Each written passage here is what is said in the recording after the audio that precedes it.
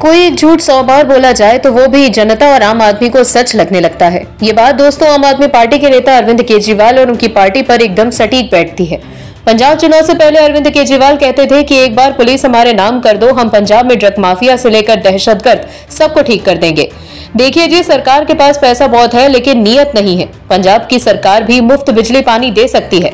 अरविंद केजरीवाल ने चुनावी मौसम में इतने राजनीतिक दावे कर दिए कि एक और तो सरकार तीन लाख करोड़ से अधिक के बोझ में दब गई है। आम आदमी पार्टी के चुनावी रेवड़ी बांटने वाली कला की वजह से और दूसरी ओर सीमा राज्य पंजाब जैसे संवेदनशील हिस्से में बिगड़ती कानून व्यवस्था भी पूरी तरह से चरमरा गई है। राज्य में फिर से खालिस्तान मुखरता से अपने फन फैला रहा है तो वहीं दूसरी ओर गैंग वॉर अपने चरम पर पहुँच गई है।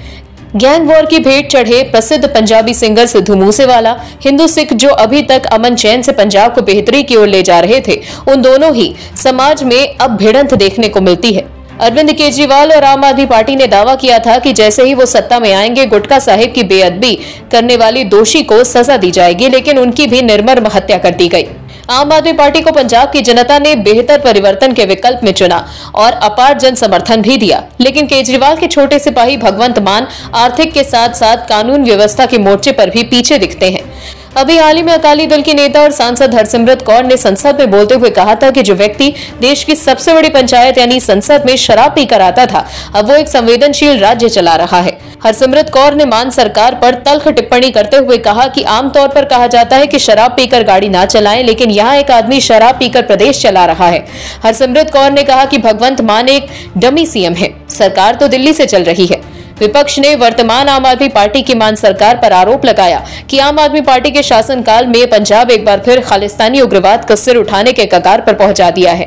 जिस तरह से पंजाब में आतंकी घटनाओं को अंजाम दिया गया है, पीछे जैसे कि सीमा पार से कम से कम तीन आतंकी हमले हुए इस साल पंजाब में। जब रॉकेट चलित ग्रेनेड दागे गए और एक आईडी विस्फोट भी हुआ अरविंद केजरीवाल को समझना चाहिए कि हर चुनावी राज्य में भगवंत मान को पोस्टर बॉय बना कर ना घुमाएँ। कि देखिए जी, हमने भगवंत मान जैसे आम आदमी को मुख्यमंत्री बना दिया। तो हम इस राज्य में आप में से ही मुख्यमंत्री बनाएँगे। अरविंद केजरीवाल को समझने की ज़रूरत है कि भगवंत मान पंजाब के मुख्यमंत्री हैं और उन्हें भगवंत मान को काम करने के लिए पंजाब में रहने देना चाहिए, न कि चुनाव राज्य में साथ में घूमते रहना चाहिए। और भी वीडियोस देखने के लिए चैनल को सब्सक्राइब करें और बेल आइकन को दबाएँ।